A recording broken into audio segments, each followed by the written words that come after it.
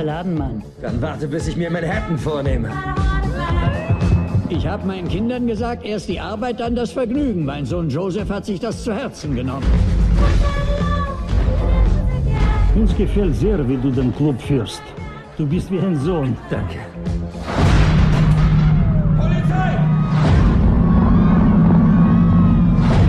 Was willst du nicht anfassen?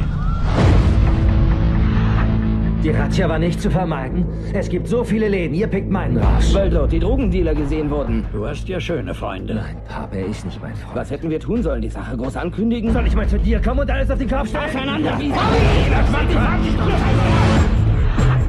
Früher oder später stehst du auf unserer Seite oder auf der Seite der Dealer. Das ist wie Krieg da draußen.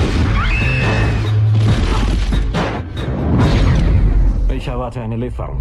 Hilfst uns, den Stoff in Umlauf zu bringen? Die Bullen sind kein Problem. Der Chief wird der Nächste sein.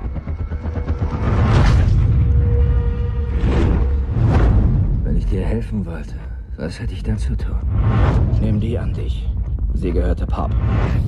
Du rufst Vadim an und verabredest dich. Du wirst uns nicht sehen, aber wir folgen dir auf Schritt und Tritt. Spiel nicht den Helden. Du atmest so schwer. Bist du nervös? Nein, warte, warte! Das verspreche ich dir. Ich beschütze dich. Ich hatte nie vor, dich da reinzuziehen. Baby, du könntest getötet werden. Es wird alles gut gehen.